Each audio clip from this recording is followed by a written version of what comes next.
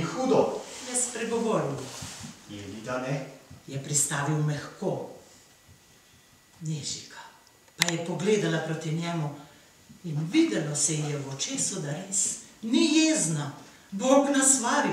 Tedaj sem se prestrašil, da sem se kar pretresel, če bi iz tega morda utegnilo kaj priti. In misli so mi pošle in dalje sem koš pletel.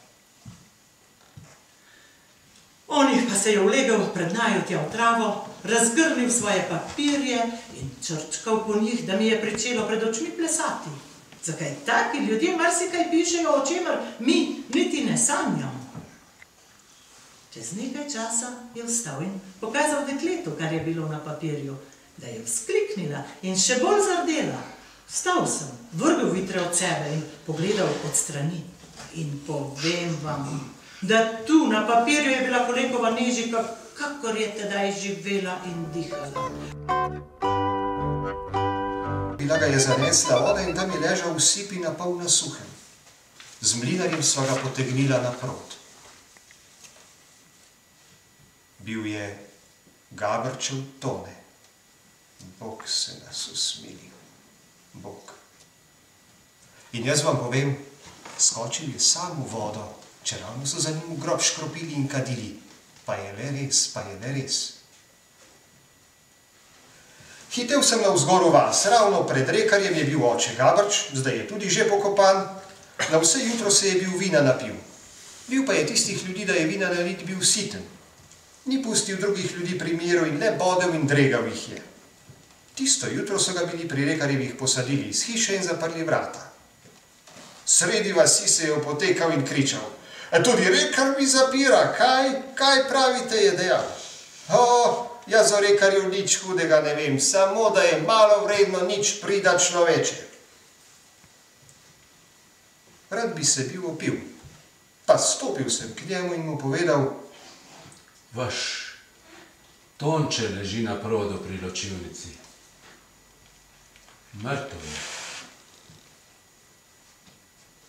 mrtev. In oko se mu je nekako čudno zavilo in pogladil se je z roko čez čelo in zapustile so ga vinske moči in hitev je iz vasi in klical Boga in vse svetnike na pomoč. Zatem je preteklo nekaj mesecev in pozabilo se je marsikaj. Gospod Erazem je bil že poleti odšel v mesto in tudi njega smo pozabili. V jeseni je bilo in delali smo na polju in pletel sem pridno koše, ker časa sem imel. Nekoč popovdne je prišla Nežika Holekova. Sedel sem za mizo in na drugi kraj meni nasproti se je usedla ona. Dekle se mi je zdelo bledo in molčalo je tudi, Nežika, a si bolna? Sem dejal, Moraš biti bolna. ali nič ni odgovoril. Če imaš časa, bi mi nekaj pisal. Oj, časa pa. Bil sem takrat za pisma v celi vasi sam in za marsikaterega sem spisal sinovom, ki jih je bil vzel cesar med vojake. Urno sem pripravil vse, No, kaj pa naj piševa? sem dejal, Kaj naj piševa? je mislila in nekako je šla kri v glavo. Piši mu, Je pričela in vzela belo rutico in si obrisala lice. In vedel sem, koj komu da naj piševa, vejte, tako je bilo prišlo, tako. Piši mu, je dejala tiho, kako da ga grozno rada imam. In kako da zmeraj nanj mislim po noči in po dnevi. In kako je žalostno, ko ga ni. In po sto. In kako da doma grdo ravnajo z menoj, da mi ni prestati. In da naj pride, če ne, če ne. in nagnila se je na mizo in jokala, da bi se moral kamen omečiti. Le tiho bodi, Nežika. Sem rekel, Le jokaj ne, vse bom tako zapisal. in res sem tudi zapisal in lepo zapisal in potem sva zapečatila in odposlala v mesto na gospoda Erazma, Erazma, primek sem pa že pozabil. Ali odgovora ni bilo. Prišla je zima, padel je sneg, ali odgovora ni bilo. Gospod Razen je ostal v mestu in ni odpisal. Dekle pa je ginilo, da je bilo videti, in vsi smo dejali, tjale okoli novega leta, ko pride huda zima, jo bo vzelo.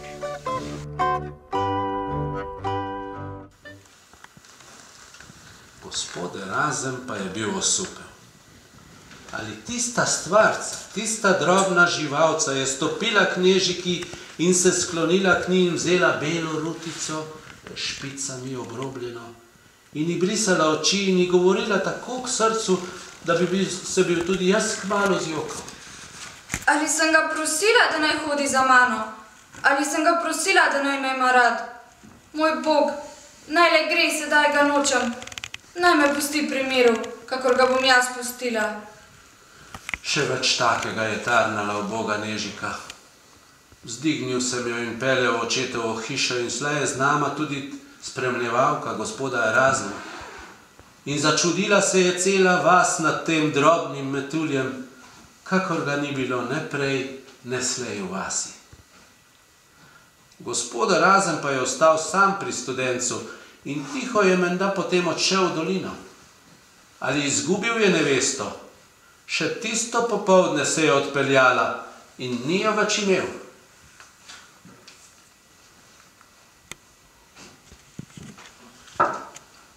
Njej konec davih bolečin.